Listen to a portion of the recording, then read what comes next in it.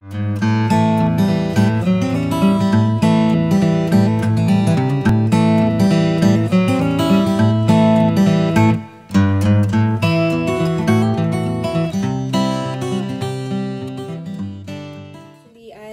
here to um, kind of help you prep for your the NRP. So I figured I'd make a video so you guys can just watch this anytime you want and on your own pace and practice within your group. So you have to prepare on every role. And those role, there's five different roles that you could be.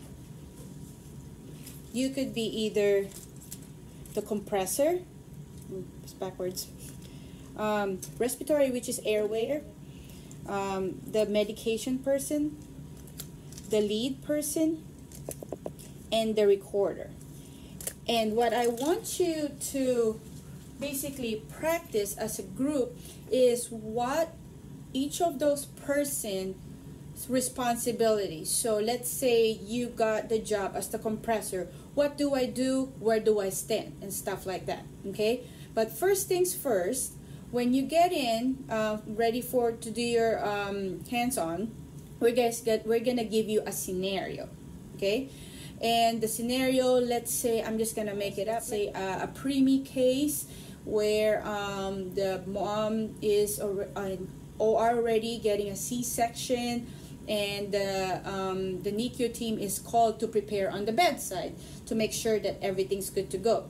So once you're in there, the baby is still delivering, the baby's not out yet. So first thing you need to do is a prepare for the equipments that you need. So when you prepare, you have about at least four stations that you need to make sure that is good to go. So, so you need to make sure that you got your intubation kit. Okay. The next one is the UVC kit list. Make sure that A, you got your hold on a second. Make sure that you got your um, okay, that you got your endotracheal tube.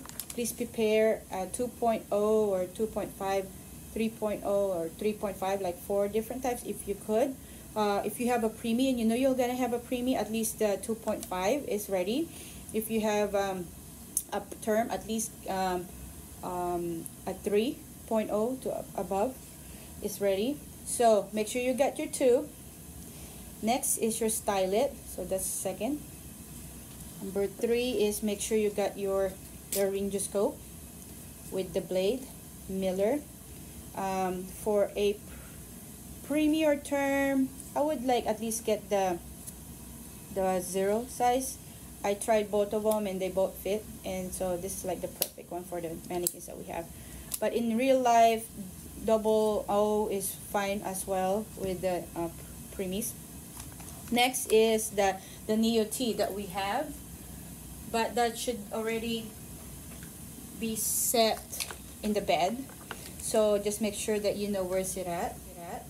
Oh, if you need to do a blow-by oxygen, you could use this as a blow-by because it's blowing out oxygen. Next is your uh, O2 supplies already in your endotracheal tube holder, right size. So my ETT holder is ready to go. Okay. Next will be a tape to secure that neo bar. You don't need this big old tape. Just make sure you have at least cut that in half. See how like as big as my hand, and then cut it like this. That's all you need. One of this. That's it. You don't need too much. Okay. And that will be, um, if this is the tube, that will be holding the, um, right here, around. I'm going to tape it around right there. Okay. I don't want to tape it yet. Okay. Next is, um, make sure you get your stethoscope. And if it's a case where it's a um, baby that is suspected with meconium aspiration because they're like 42 weeker already make sure you have your meconium aspirator I don't have that with me but it's the one that looks like an ET tube last but not the least you might need a um, oropharyngeal airway all right So one of these, okay? Make sure it's the right size for your preemie and or the right size for the term baby, okay? My next thing is to make sure that my UVC kit is ready to go. I'm gonna open it up, make sure that um, this umbilical catheter is out and ready. And make sure you have it right there, okay? And uh, what you could do is just kind of leave it ready to go like just in the container so it's still kind of clean. So you just kind of leave it down like this ready to go. Next thing that you're gonna need is you're gonna check is um, my flow meter on and is my suction and uh, my vacuum on. So make sure you got your vacuum in okay and you're gonna um, put your finger in here. Oh make sure that put your finger in here to make sure that it's between 80 to 100 uh, negative 80 to negative 100 you don't want to go too much of that. And then next make sure that your um, your Neo-T is connected to the uh, oxygen and it's on 10 liters okay 10 liters so uh, vacuum next is your warmer okay so what you want to do with your warmer, make sure you got the power. I, I disconnected it, but I wanted to point like what the button, the power on and the light on, okay? But um, make sure that the temperature is all the way down to zero. Put it on manual, and then when it says ready, toggle it down to zero, and it should be good because we don't want the real heat on, it will melt the mannequin. Next in the warmer is the blender. Make sure it's on 21% to start with. And we're gonna pretend we're using this suction, so make sure it's on on. Okay? That's for the um, warmer. Not that's on the top part. Next thing is in the bottom part. Before you receive the baby, make sure you have your walls down so it doesn't the baby doesn't bump into the wall. This one can go lift up. Oops and slide down same thing with this lift up and down okay also the angle on this corner I don't, I don't know if you notice it's already perfectly um, leveled if you want to change the level for some reason it's um, it's right here you go ahead and lift it up and turn left or right however you want the um, level to be. To put it back, pull, pull the knob, and just release. another thing is the height.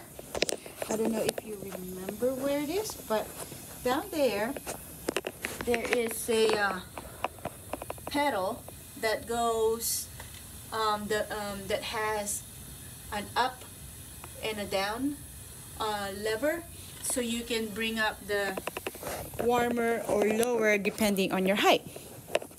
So again, you got the table, check. The flow meter, check. Warmer, check. You gotta make sure you got all your monitoring on. Gotta make sure you have your ECG monitor leads.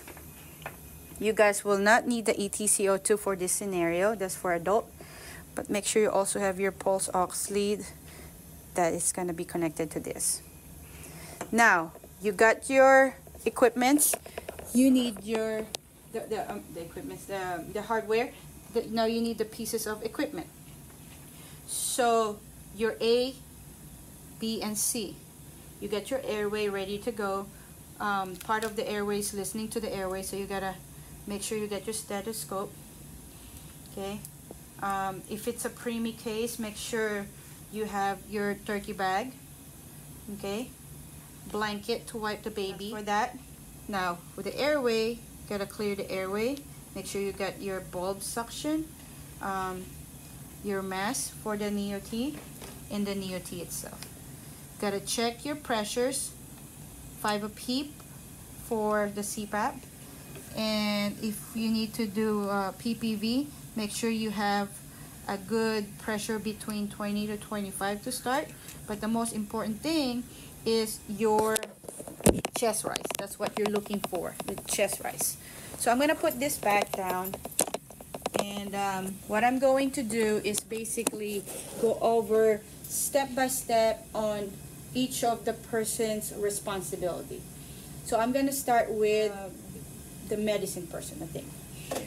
So the medicine person will stand to the other side of the monitor. I'm the medication person. Medication. They said baby's out. I'm gonna receive the baby. Ooh, heavy. And I'll put the baby in the warmer. Okay? Let me turn it in the warmer. So, now as the medication person, I'm set. Again, receive the baby, put in the baby. table. I gotta start measuring the baby's midline all the way to their ear and see what size neo bar I need. So I want me and um, your teacher will want to see you guys like check out the length and then pull out the right size. Done. And then my next job will be um, to assist with intubation. When when the um, airway person said, "I'm ready," um, go ahead and hand them the laryngoscope, and it's it should be already on. Make sure you clip it on. So you're gonna assist with the intubation.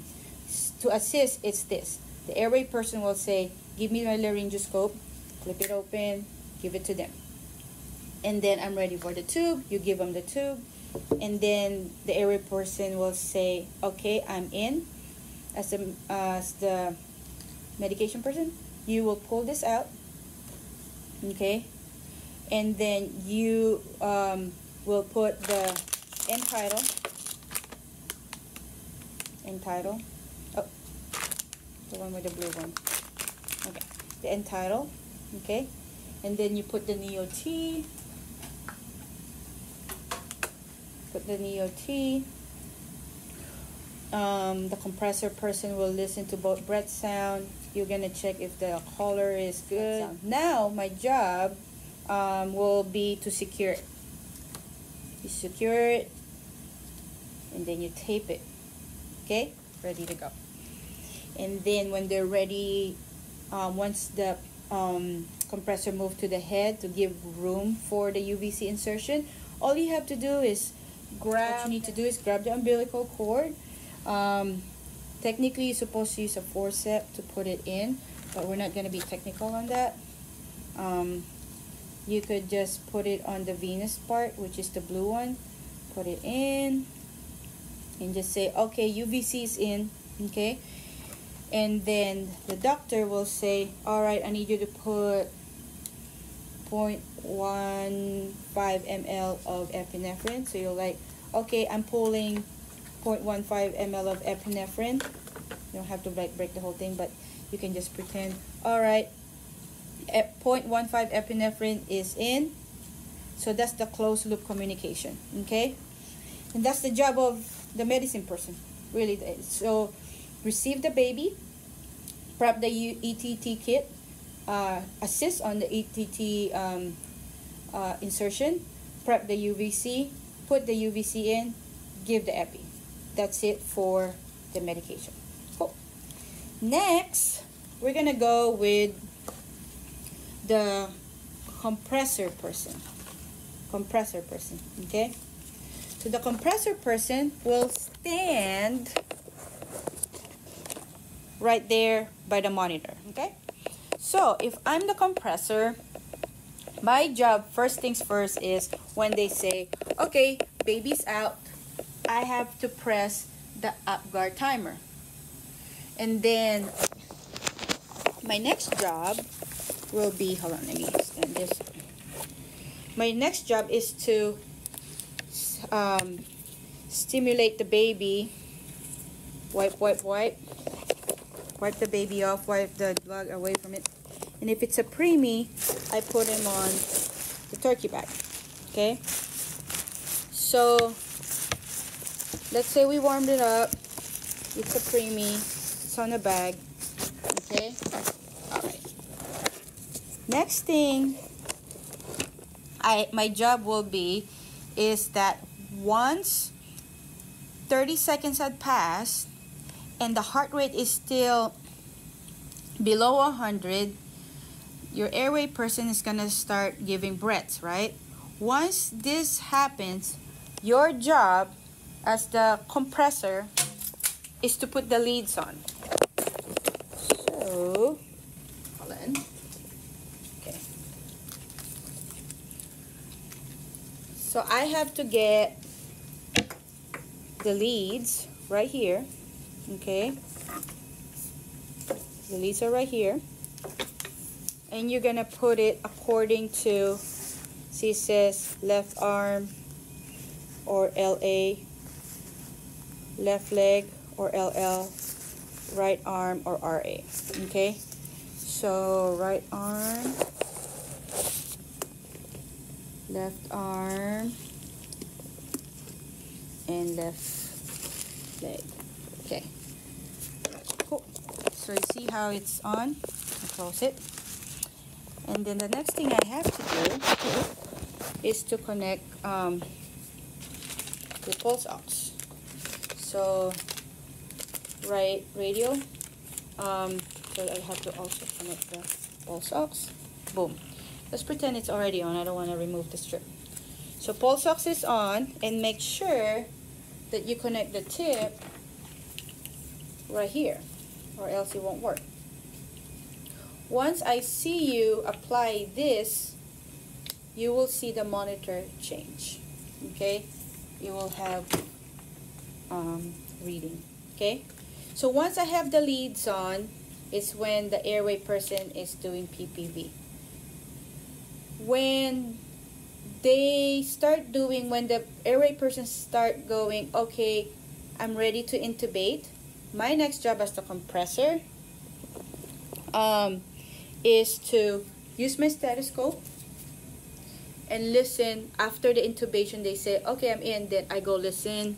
Then i'll say all right i hear bilateral breath sounds. Okay? And then if the case is heart rate still, let's say, below 60, then the lead can say, okay, let's start compression. When they say, let's start compression, first things first that you want to do as the compressor is bring this up to 100% and start doing your compression. And if you remember, the beat is um, 1 and 2 and 3 and then the breath. Okay? See. So remember, do not use your nail because it will make a hole in here please use this part of your thumb not the nail. So right here two thumbs. One and two and three and breathe. One and two and three and breathe. Okay? Um, the next thing is um, uh, the umbilical cord being placed. So when they say I'm ready for the umbilical cord the compressor from here have to move by the head and do compressions backwards okay to allow room for the UVC insertion. So you do backwards. So let's summarize it. My job is when they say baby's out you click the click the Apgar timer on. Next is after the uh, once the PPV starts you put the leads and the pulse ox. After intubation, you confirm by listening with your stethoscope. And then if the heart rate still below 60, you start compression, 1 and 2 and 3 and breathe, okay? 1 and 2 and 3 and breathe, okay? And then when the UVC is ready to be put, you move at the head and you start compressing upside down. 1 and 2 and 3 and breathe, okay? And that's your job. Once the heart rate goes above 60, you stop compression. I will take your stethoscope one more time and go ahead and listen again. Since you have the stethoscope power, feel free to do that. Okay, that's for the compressor. Last but not the least, I'm going to switch my um, role from a compressor to the airway. And I'm going to call the airway person respiratory. respiratory airway. Okay, now my job, this is my job. Once we receive the baby, okay, receive the baby. Let me take this off real quick. Okay, once you receive the baby, stimulate as well. And once the blanket, once the blanket is all soaked, you carry the baby up with from the back of the neck and in the butt. You lift it up. Okay. And the compressor have to remove that wet blanket so you can lay him down the next clean blanket until you get to the plastic part. If it's a preemie. If not, then you don't need plastic. Okay? And then 30 seconds have passed. Let's say heart rate still below 100 my job is to do the PPV first things first I need to do okay is to make sure I got a good CPAP on. And then I'm gonna give him a few breaths breathe two three breathe two three breathe two three do, do I see good chest rise yeah I do good so I'll give about three of that and then I'm going to say, all right, I don't see heart rate increasing. I'm going to do MR. SOPA. I'm adjusting the mask. I'm repositioning the neck. I'm suctioning them out. Okay. And increase a little bit of pressure. Breathe, two, three, breathe, two, three. And this is where you're probably going to need to put an artificial airway. Okay artificial airway goes sideways or backwards and then you flip it. And you again do breathe two three breathe two three breathe two three. Okay? 30 seconds of ppv heart rate still um, below 100 say uh, i'm ready to intubate. So they're gonna give me the laryngoscope. I have to take this out. Put it in. Go in. Hold on I go in. And you see this part groove? This is where you will you will use this as a guide to stick your ET tube see this? You will use it to guide your ET tube in so I see the hole I'm going in and I say, okay, I'm in. The person will pull it out while I'm still holding it. Do not let go of your tube. Do not let go with that hand until they secured it with a neo bar. Keep your hand in, okay? So they will give you the, my job is to make sure that thing doesn't come off. They're gonna give you the CO2. So go ahead and put it in. And then she's gonna, your medication person will help you again give this. And then you give a few breaths. Breathe two three breathe two three. And your compressor person is listening. Breathe two three breathe two three breathe two three okay? Mm-hmm. If the heart rate's below 60 i or the lead would say okay let's start cpr so i'm this all i'm doing um, I'm coordinating with my compressor. Now the, the beat from breathe two, three, breathe through three will change to one and two and three and breathe, one and two and three and breathe, one and two and three and breathe. Remember, you want good chest rise. One and two and three and breathe. Okay? And while I'm doing this, I might need to make room for the neo bar placement. So I can move my hand like maybe like away from the nose or something to like make room for my medication person to put that to put the neo bar in. So I gotta I could like move a little bit while I keep hold of the tube. I do not let go of the ET tube. So they're fixing it in the back like so taping it while I still have a good control of the tube. Got it? All right. So once let's say the um, the compressor move this way so they're like standing here. I could just scoot a little bit this way and you guys can work together. Figure out how the way you want to circle your hand around. Um, I normally would just let them go over the um, Neo T but figure out how you could get in with your hand around without stopping what you're doing okay or effectively at least doing what you have to do. So once the heart rate goes above 60, the compressor has to stop and I continue my job as an airway but I changed my beat again from 1 and 2 and 3 and breathe. I go back to breathe 2, 3, breathe 2, 3. Okay?